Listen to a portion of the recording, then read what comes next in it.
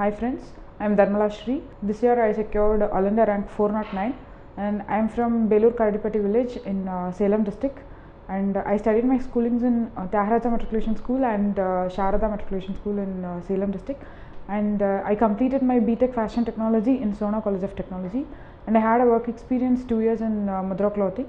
Then I started my preparation from 2014 and uh, this year I got All India rank 409. Uh, my optional is history and I chose history because I, had a liking from schooling. And then uh, I had an, another chance to study history after breakup because after 10th I couldn't study history. So after some 6 7 years gap I, I got an opportunity to study history. And the next reason is uh, uh, I got a guide here. So Sadik sir is the biggest resource for my history optional because uh, whatever the option we are choosing we need a right mentor. So uh, in that case I am lucky. And the next one and uh, uh, when we are uh, consulting with our seniors i got to know that okay this this can be a part which which is useful in uh, right from prelims mains and interview. So uh, it is an uh, easier option and it has its own value. So i chose history on that basis.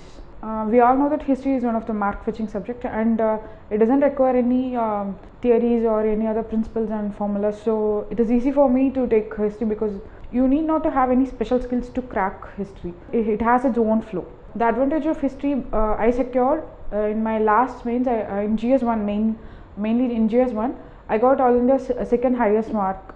Uh, because of history optional i secured that mark. And uh, in my history optional as well i got uh, one of the top marks in my paper 2 so this is the edge we have uh, as an uh, history optional student. Uh, with respect to materials my, i don't have uh, any broad list uh, for preparation. The one uh, thing i followed whatever sir told. The first thing is sir told to read the class notes. So i i used to attend the classes regularly. It is a very simple process. So i, I attended the classes regularly and the second one i used to follow the class notes the notes which i used to write in my own. And the second thing uh, sir told us to read ncrt first before reading any other author books. So i prefer to read ncrt after reading ncrt i started revising the ncrt especially the modern india or ancient india. I used to revise the ncrt so that i used to get some some questions. So the, some analysis will be there in modern india ancient india medieval india. So i used to see the analysis and again i started writing the answers.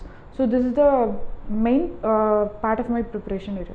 Uh, with respect to ancient india particularly for map last time uh, i didn't score uh, well in map mainly because uh, i got uh, tensed when i couldn't know the when i don't know the some four to five locations in map. So it made it pulled down my confidence and it reflected in my paper one. And so what happened i started reading the map based on the previous questions which sir used to do refer always. So that map work i uh, took it very seriously and i started focusing on that. And next thing with respect to ancient india uh, what i told earlier the same uh, class notes and the ncrt books. So uh, while revising this so i am able to write the answers. So the same way medieval india ncrt uh, simply ncrts and uh, the class notes. But i used to do a lot of revision based on my my own notes and my answers and the repeated uh, ncrt reading. And with respect to modern india i studied uh, old ncrt modern india and sir notes. And uh, to an extent i referred uh, Bipin chandra india um, india struggle for independence i referred. And um, with respect to world history I referred Norman Lowe's for a very few chapters, but I referred uh, Sir's World History book. It was a very small book, so I referred that book, and mainly because it, it covered the syllabus. So we got two things. So it is very small, and it is it covers the syllabus. So I read that uh, World History book alone, and I read it twice or thrice uh, even before uh, appearing the exams, and. Um, only with this book, with these two books, I secured one of the high marks in GS and as well as in uh, paper 2 last time. So it is not very tough or it, it doesn't require any extra material to get high marks in paper 2 so it is very simple and it is very easy to uh, crack in the history optional. Uh, with respect to writing tests test is one of the most important part because we used to read a lot.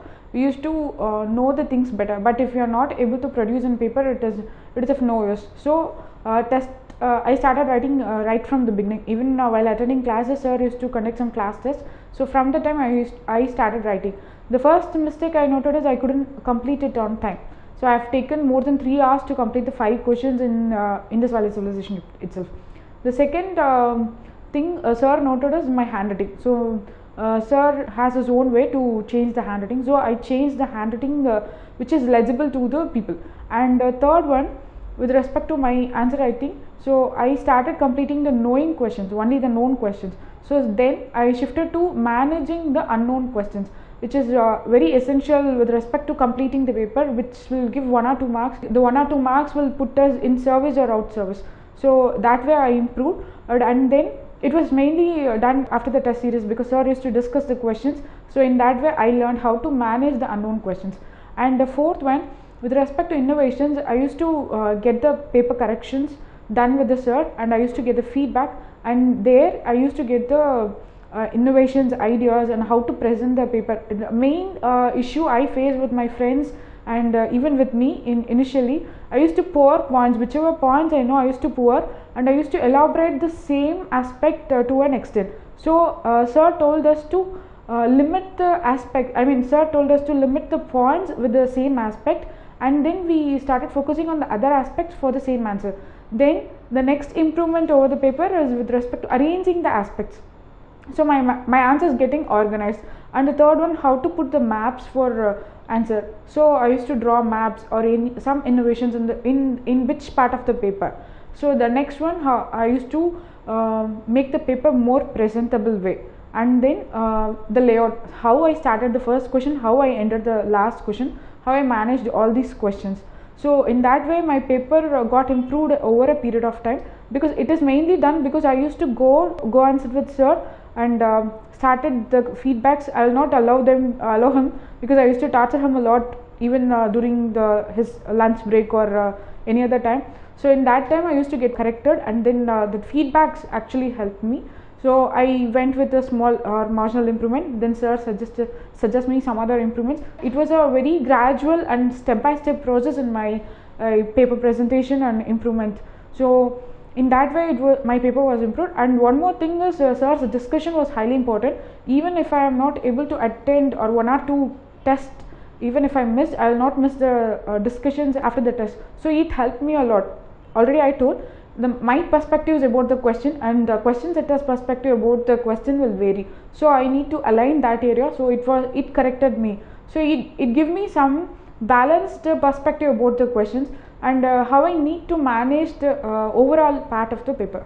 With respect to prelims, uh, studying history is more important because the weightage of history every year it is getting increased day by day. So almost 15 to 20 questions is standard from the history itself. Uh, the standard patterns of Buddhism, Jainism, and the culture part, and modern India specifically. So the questions are uh, very regular and normal. So without skipping history, we cannot uh, crack prelims. It is a fact actually. So we need to give enough time to study history. So in that way, history helped me to crack prelims uh, not once but many times. And then with respect to mains, mainly GS1, it is completely full of uh, history dominated paper, or whether it is modern India or culture part or, or whether it is um, world history. So, uh, by giving weightage to history, you can crack. It is easy to get more than 100 in GS1. And with respect to ethics paper, due to the Indian ethics, I mean Indian ethics paper, there are some questions like uh, values of Indian Indian culture or Indian society. Based on our knowledge in history, we can be able to answer in, in our own way. So it gives some edge in the ethics paper also. With respect to interview, we know the roots of the questions. So we know the roots of the issue. So whether it is uh, the reason current issue which is burning in india whether it is burning in the world we know the roots of uh, that issue where it started. So by knowing the root it uh, gives us more confidence and uh, we can be more uh, mm, assertive about our answers. So it will gives us more confidence and it will give more clarity about about the issues what we are speaking. So in that way it helped in my interview preparation as well my uh, suggestion to aspirants is please uh, restrict your material. Be specific in uh, what you are reading. So now there are so many distractions about the reference books which books to refer and there are so many uh, uh, distractions and uh, so much of information about notes and guides and which one to refer as lot. And we'll have uploads on online and offline. I suggest please for restrict your materials first one is your class notes and the second one is the ncrt and the main uh, area we need to focus is to read regularly and once you read we need to revise it and then writing the test getting evaluated and uh, feedback. So in only this way we can improve our marks. I'm telling this because i i did only these things and i got uh, highest marks in optional as well as gs so it is not like that you need to refer a lot to crack history optional. I had very hand, uh, hand handful of books and notes with that i am able to secure one of highest marks in history it is possible for you too so be specific and uh, get the high marks in history I need to thank everyone in the Smart Leaders team uh, because it is like my extended family in Anna Nagar, as I told previously. Whether it is uh, Sir sadik Sir, Sadik Sir role is in uh, my preparation is, is a large one, and uh, I need to thank Shivraj Sir. Uh, his role is also equally important, like sadik Sir, and then and Suresh Sir, and the content team and administrative team, Sendalana's team, and especially my online team. So i need to thank all uh, because whenever i have any doubts whenever i knock them so they respond me and they help me a lot. They didn't hesitate anything. So in that way uh, the doors were open to me uh, whenever i i need. And uh, i need to thank all in the smart leaders team. Thank you